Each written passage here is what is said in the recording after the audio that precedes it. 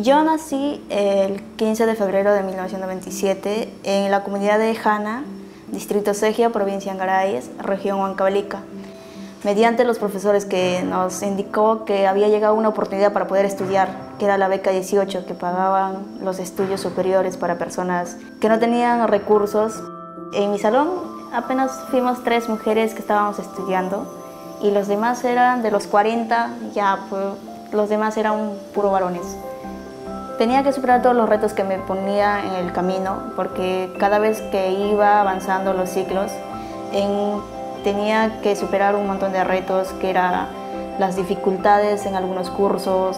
Encontrar trabajo para mí era bien difícil, porque entré a una empresa como pre-practicante, pero a las dos semanas me dijeron que no, que no había mucho trabajo y que tenía que retirarme. De ahí fui a otra empresa para una entrevista y me dijeron también que no, porque era solamente para varones. Hasta llegar acá a la empresa How y acá me dieron la oportunidad para poder superarme. Y mi labor más que nada se dedica a presupuestos, parte eléctrica y instrumentación. Eh, de estudiar una carrera técnica tienes varias ventajas, que es fácil incorporarte en poco tiempo a ambiente laboral.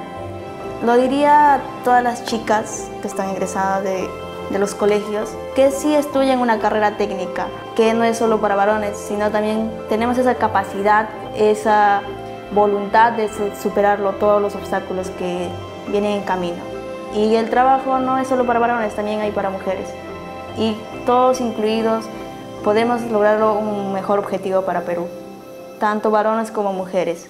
Lo podemos hacerlo.